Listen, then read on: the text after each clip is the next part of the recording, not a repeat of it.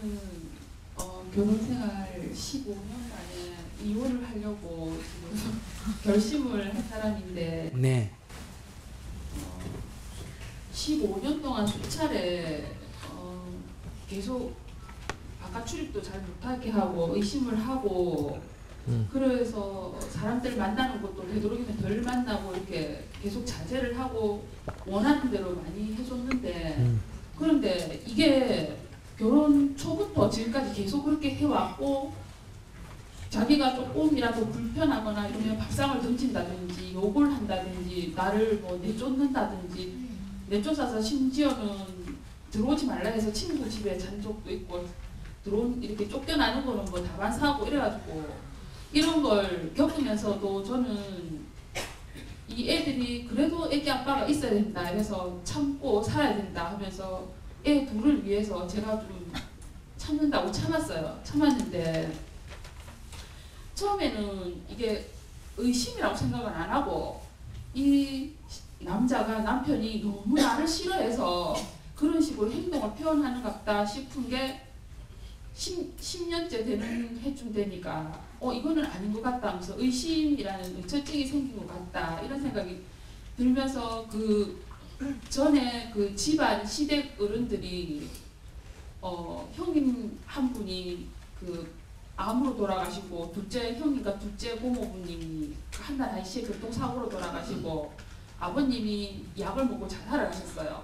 그리고 어머니는 어 병이 와서 당뇨와 풍이 와서 한꺼번에 돌아가시고 그 둘째 형님 형수가 자기를 끝까지 지켜줄 줄 알았는데 가정이 있는 남자를 모험을 하면서 사귀어서 나갔는데 그게 초등학교와 중학교 그 사이에 그런 일이 다 한꺼번에 일어나서 자기는 이 여자라는 게 딱 자기가 시키면 집에 딱 있어야 되고 밖에 나다니고 사람들하고 어울리는 거 이런 걸 너무 싫어한다 이래가지고 저도 살기 위해서 애 둘을 키우기 위해서 쫓아내도 다시 들어오고 욕을 해도 다 들어주고 그 모든 걸 다 참았는데 8년 뒤에 이혼을 하자 하더라고요. 그 이유는 작은 애가 대학생 되는 시점에 이혼을 하자는데 돈이 들 돈이 가장 많이 드니까 그까지는 보조를 해주고 나머지는 그 시점에서 헤어져야 된다 이렇게 얘기를 하더라고. 아니 그렇게 얘기 그러니까 얘기하는 스타일을 보니까 예. 남자들이 좀 속 타겠다.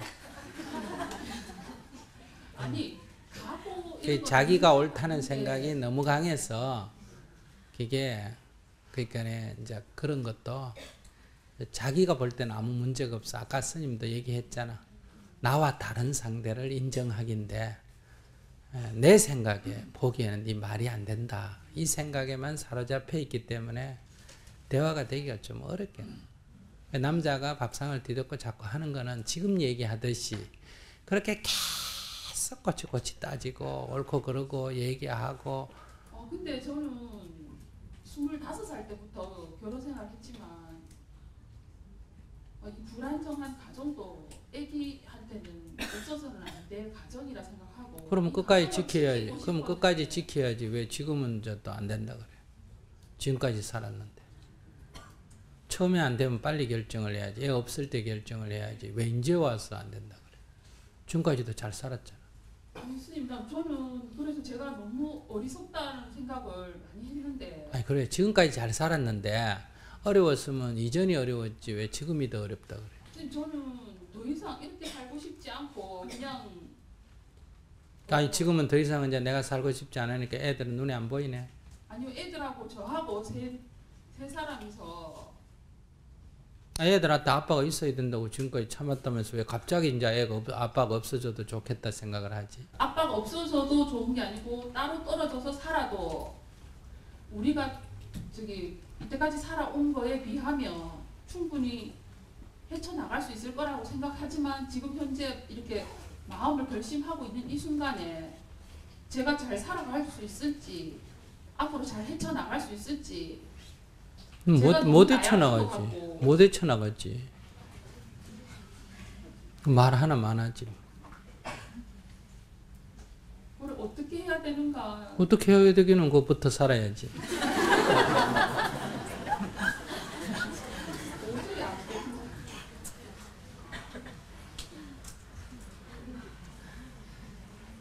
그냥 그것부터 사세요.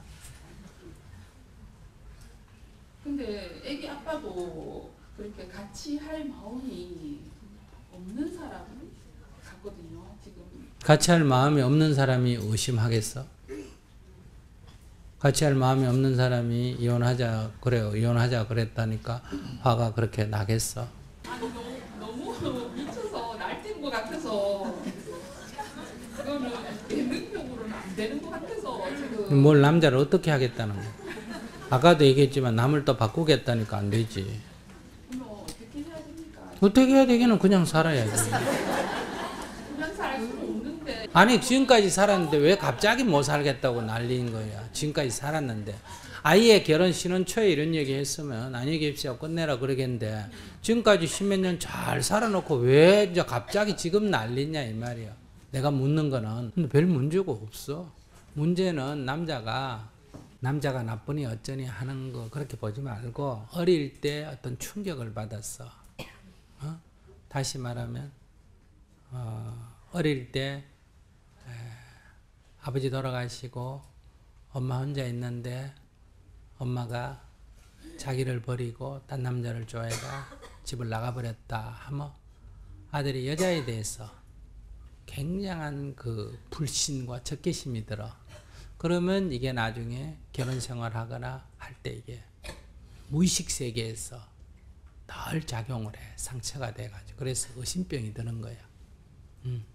그게 이제 엄마가 아니라도 형수라도 거기에 의지하고 살았는데 그러니까 말이 형수지 자기 엄마 같은 존재인데 그런데 이제 이렇게 되니까 여자에 대한 의심이 들고 이런 어떤 충격으로 해서 이분이 한마디로 의처증이 있다 이 말이에요. 의처증. 어? 그럼 이게 딱 보면 벌써 아 이거 의처증이구나 하는 걸 알아야 되는데 이거를 결혼 초에 몰랐다. 그건 본인이 무지한 거야. 그러니까 의처증이라는 건 딴 건 다 정상인데 그 부분만 정신 이상이야. 그러니까 다른 사람들은 잘 몰라 주위에 있는 사람들은 딴건 다 직장에 가서 생활도 잘하고 다른 건 다 정상이기 때문에 그러니까 부인만 죽겠다는 거야. 어. 아까 얘기한 대로 이미 다 증상이 나타났고 그다음 어부증이 있으면 남편만 죽겠다는 거야. 근데 여자가 딴 건 다 정상적으로 하기 때문에 이 여자 말을 다른 사람 다 믿어. 이 남자 말을 다른 사람들이 다 믿어. 그, 그, 그 관계되는 사람 빼고는 다 다른데 이상이 없기 때문에. 보통 정신병이면 여러 문제에 다 문제가 있기 때문에 다른 사람들이 다 알아. 어, 저 정신 이상한 놈이다. 이렇게 직장 생활도 제대로 못하고 일가 친척도 다 알 수 있는데 이런 병은 당사자 빼고는 딴 사람은 몰라. 다른 게 다 정상이기 때문에. 본인이 마음고생을 많이 했어. 근데 자녀가 없으면 초기에 이런 게 딱 있으면 처음부터 애 생기기 전에 딱 그 그만뒀어야지 미리.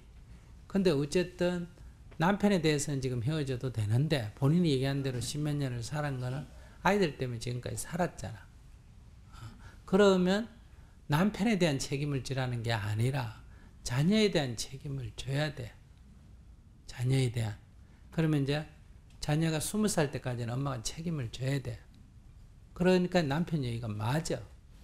그러니까 네, 막내 대학 갈 때까지 대학 간다는 게 스무 살 아니에요. 그죠?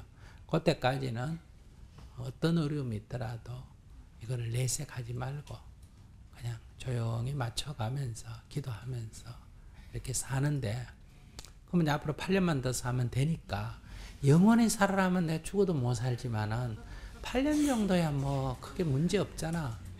뭐 엎어지든 자빠지든 애 클 때까지는 세울 수 있겠다 이렇게 생각을 하고 어 그러니까네 아이에 대한 책임으로 살아라 이런 얘기예요. 그럼 이런 남자는 이렇다는 걸 아예 인정을 하고 아 의처증이 있는 분이다. 그래서 내가 사실로 그렇게 하고 안 하고에 관계없이 저 사람은 항상 의심이 든다. 저는 저 사람 병이란 말이에요. 그러니까 그렇게 나한테 독촉을 할 때 억울해 하지 마라 이 말이에요. 병이기 때문에. 어. 내가 안 그랬는데 왜 자꾸 했다 그러냐 이렇게 이제 변명할 필요가 없다 이런 얘기였죠. 또 병이 도졌구나 이렇게 생각하면 되니까 그럴 때네 이슬 찍고 한번 봐주겠다 이런 사람 주로 이래 많이 많이 하거든. 어. 네가 사실이라고 밝히면 내가 봐주겠다. 근데 그런 말에 속아 넘어가면 안 돼. 되게 답답하면 나중에 막 그래 사실이다 어쩔래 이래 나가는데 그러면 이제 일이 더 커져. 그러니까 막 아닙니다. 그리고 너무 말 많이 할 필요도 없고 사실이 아닙니다. 이러면서 아 당신이 그래 의심할 만하게 해서 어? 뭐 짧게 들어와야 되는데 시간이 길어졌으니까 미안하다 이러고 그건 병이니까 뭐 지금 돈 안 벌어주는 것도 아니잖아. 그러니까 뭐 돈 벌어주면 그냥 받아 쓰고 애들 키우고 살림 살고 나가지 마라 그래도 그냥 뭐 나갈 일 있으면 나가고 어, 밥상 던지면 뭐 대충 모아가 쓰레기장에 버리고 치워놓고 그냥 뭐 죄송합니다 이러지 이렇게 말한다고 말 같지 않다고 외면하면 이게 말을 대꾸를 해도 화가 나지만은 묻는 말에 이 꽉 다물고 말 안 하면 화가 더 나. 그러니까 자기는 대꾸 안 했는데 화가 나. 맞았다 이러는데 그건 대꾸를 안 했기 때문에. 대꾸를 해줘야 된다 이 말이야. 어, 너 어디 갔다 왔니? 하면 밥 먹으러 갔다 왔습니다. 이렇게 얘기해야지. 어디 갔다 왔니? 해도 말안 하고 아예 네 말은 말 같지 않으니까 대꾸를 안 하면 이제 그런 일이 벌어진다. 갔다 왔습니다. 남자고 먹었지? 안 먹었습니다.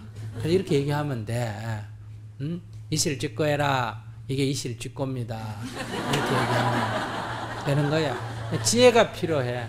이런 식으로 그냥 사실대로만 얘기를 자꾸 하면 돼. 자기 열 번 묻으면 내가 귀찮다 하는데 너 어디 갔다 와서 이게 말이 맞나? 밥 먹으러 갔다 왔습니다. 말이 맞나? 그러니까 자기가 더 많은 말을 열 번 하는데 내가 짧은 말을 열 번 못 할 이유가 뭐가 있어? 어? yes no만 하면 되는데 나는. 그러니까 훨씬 힘들어도 자기가 힘들지 내가 힘들 게 뭐가 있어? 그러니까 보살은 지금 밖에 가서 얘기한 보살이 억울한 점도 있겠지만은 스님이 볼 때는 보살도 그런 남자를 다루는 지혜가 부족하다. 그리고 자기 생각이 굉장히 강해. 억울한 게 막 너무 차가지고.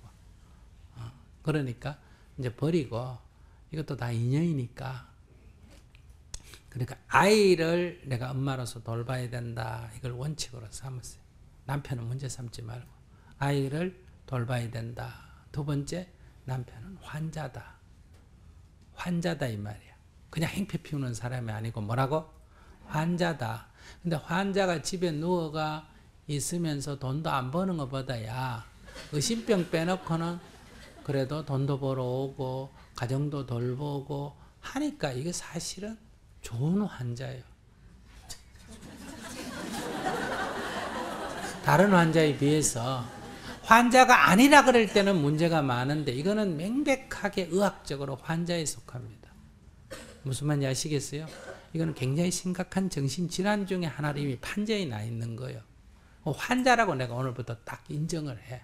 처음 한다 하면 아이고 젊은 사람이 그런 환자 다스리기가 쉽지가 않으니까 막 포기해라 그만둬라 이러고 싶은데 몇 년 살았다고요? 15년 살았는데 이제 8년 남았으니까 거 절반만 살으면 되잖아. 그러니까 자녀들을 생각해서 그냥 맞추면 돼. 이거 어렵지 않아. 모르면 굉장히 어려운데 지금까지 몰라가 힘이 들었어. 오늘 스님 법문 듣고 아, 알았다. 남편은 환자구나. 그리고 또 얘기 들어보니까 돈도 벌어다 주지 뭐 대주지 괜찮네. 어. 그러니까 혼자 나와가지고 지금 보살도 바로 보살이 혼자 나가서 내가 못 산다 하는 이유는 이게 지조가 내가 딱 있는 사람이면 나는 하루를 살아도 이런 삶은 못 살겠다. 무슨 말인지 아시겠어요? 나는 파출부를 하든 동양을 해 먹고 살든 어? 절에 가서 공양주를 하든 공자 가서 일을 하든 나는 그렇게 살지 이러면 못 살겠다. 이렇게 벌써 나가려고 할 때는 삶의 방향이 아주 뚜렷해야 돼. 그래서 이 사는 걱정을 안 해야 돼. 요즘 같은 세상에 뭘 해먹고 산 번을 못 살겠냐. 밥만 먹고 살면 된다. 이렇게 삶의 원칙이 딱 있으면 아무 나갈 때 걱정이 안 돼. 근데 이 벌써 이게 경제적으로 남편이 돈을 벌어다 준 데서 이미 15년을 살았기 때문에 혼자 살면서 애들 공부도 시켜야지, 방도 구해야지, 돈도 벌어야지, 애도 돌봐야지. 지금 이 생활을 생활 수준을 낮추고 싶지가 않다 이 말이야. 그러니까 걱정이 되는 거란 말이야. 그러니까 걱정하는 수준을 스님이 딱 볼 때 안 나가는 게 낫다 이래. 이거 그냥 잠시 발병할 때 맞추는 게 훨씬 쉽지. 그거 하루에 한 번 발병하든 일주일에 한 번 발병하는 거 맞추는 게 쉽지. 그거 잠시 그냥 간호원처럼 맞추는 게 낫지. 그거 버리고 성질 난다고 애 둘이 데리고 가 여자 혼자 지금 밖에 가서 새로 집 사가 그건 너무 복잡해. 비효율적이라는 거야. 어. 스님이 그냥 뭐 여자니까 이런 얘기가 아니야. 자기가 조금만 정신을 차리고 보면 이거 맞추는 게 훨씬 쉬워. 밥상 한 번 던지는 거 그거 차려주는 게 쉬워. 하루 종일 공자가 일하는 게 쉬워.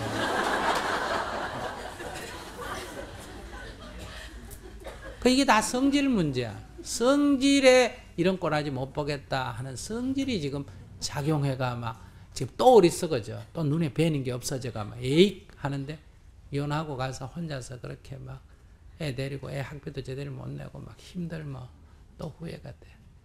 그러니까 공연히 화를 자초하지 말고 자기가 8년이라고 하니까 애 딱 20살 넘거든. 그때는 이혼하자 이런 말도 하지 말고 없어져 버리면 돼. 없어져 버리면. 이거 뭐야 이혼하자 이러면 또 싸우고 막 칼부림하고 이러니까 없어져 버리면 돼. 아무 소식도 하지 말고. 어, 그러니까 그때까지 참고 살아. 근데 그때까지 기도를 잘하면 병 고칠 수도 있어. 다 이런 맞춰주면 고쳐. 그러니까 건드리지 말고 두 번째 내 하고 싶은 것도 해. 무슨 말인지 알았어요? 내 하고 싶은 거 하고 가지 말라 그래도 가고 하지 말라 그래도 해버리고 성질 나면 뭐라고? 죄송합니다. 죽을 죄를 졌습니다. 하고 고개 숙이고 상 던지면 그냥 그릇 치우고 그 다음에 때리면 그냥 한 대 맞고 그걸 억울해하다 이러지 말고 어, 근데 이런 사람 때려도 막 그래 다 안경 벗으라고 때리지 뭐 무조건 코빼 부러뜨리고 이래 안 때린다. 어, 그러니까 어, 그러니까 그렇게 딱 각오를 하고 이 병이 발동할 때는 아 저러구나 하는 걸 알아가 그때는 무조건 음, 맞춰주면 돼. 그렇게 하면 별 문제 없어. 대신에 이렇게 성질이 확 나면 내가 못 견디니까 기도를 좀 해야 돼. 그러니까 오늘부터 하루에 300배씩 절을 하면서 부처님 지은 인연의 과보는 피할 수가 없군요. 과보를 잘 받아내겠습니다. 이렇게 기도해. 이 빚이라고 생각하고. 성질대로 하기 싫은 사람 누가 있겠어요, 그죠? 저런 인간 데리고 왜 살겠어요? 요즘 여자가 옛날도 아니고 확 성질대로 해가지고 해버리면 되는데 그러면 여기에 큰 화가 미칩니다. 지금 하면 이게 어, 내, 내 신체적으로 화가 미치고 두 번째 성질대로 나아가 살기 어렵고 아이들 지금 학교 다니는 아이들은 가능하면 안정되게 공부를 마쳐야 되는데 이거 어렵고 음, 지금 이 화가 자초돼요. 지금 화는 아무것도 아니요. 그러면 이제 그때 가서 후회하게 돼. 그러니까 지금 성질대로 하면 안 돼. 이치를 몰라서 그래. 이건 병이기 때문에 병이다라고 딱 정하고 대응을 하면 어렵지 않아. 그리고 좀 힘들면 어, 300배 하루 절을 해야 이걸 이겨낼 수가 있어요. 안 그러면 못 이겨내. 또 성질이 나기 때문에. 어. 그리고 이제 시간 남은 한 5일 정도 없어져 가지고 깨달음장을 다녀오세요.